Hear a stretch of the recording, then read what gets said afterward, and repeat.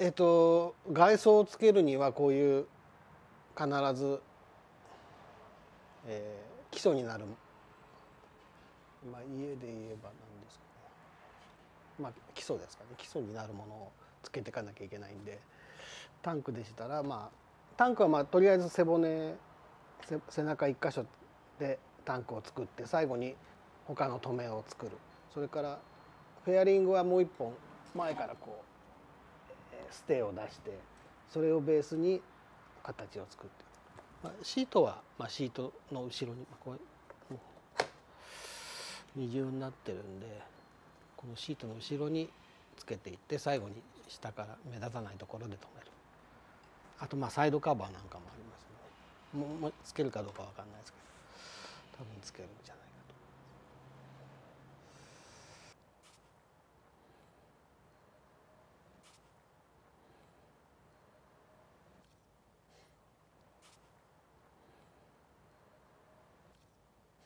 あの結局自分の中での完成図っていうのがあるわけじゃないし設計図があるわけでもないんであのまあ作ってみながら現物合わせで作ってちょっと客観的に見ておかしいところを直すっていう手順でずっと、えー、何十年もやってきてるんで。だいぶやり直しは少なくなってきましたがね自分の中ではね。大体そのもやっとしたイメージのままでも、えー、アルミを大体こんな形かなっていうのを思い浮かんでつけてみればまあ大体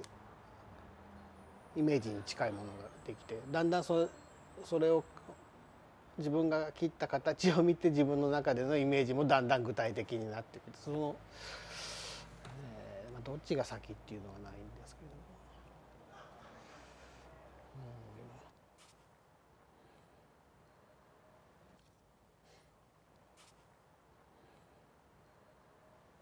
うん、どういうふうに見えてんですかね。あのまあバイクももちろんですけどあの注文いただいているクライアントのイメージとかもちろん体型それからいつも着てる服の感じとか話す感じとか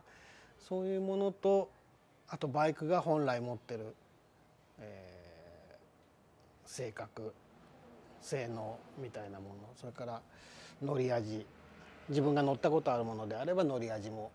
想像できるしそういうものが何ですかね、えー、自分の頭の中で どういうふうに見えて見えてはないですよね。ものすごいもやっとした感じですけどだんだん見えてくるっていう感じです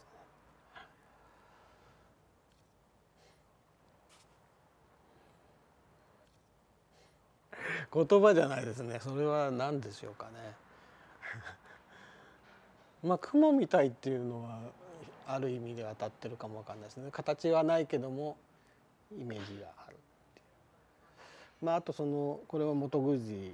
なんでその元宮司なら元宮司の歴史的なねそのあのレースの背景だとかそれからオリジナルのデザイナーがどういうシチュエーションで最初の設計をしたかとかそういうこともあの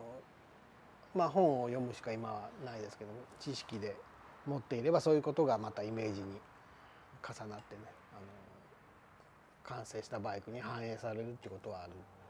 あります、ね。でもだからといってその50年代に活躍したレーサーのレプリカを作ろうとか、えー、70年代の耐久レーサーを作ろうとかそういうことはないですね。自分の中でその一つ一つの、えー、自分のグズィに対するイメージとそれから元グズィの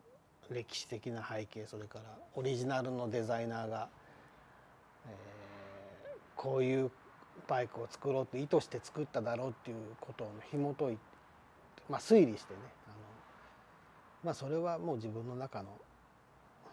答えがあるわけじゃないんで遊びですけどファンタジーみたいなもんですけどまあそうやって楽しみながら作ってます。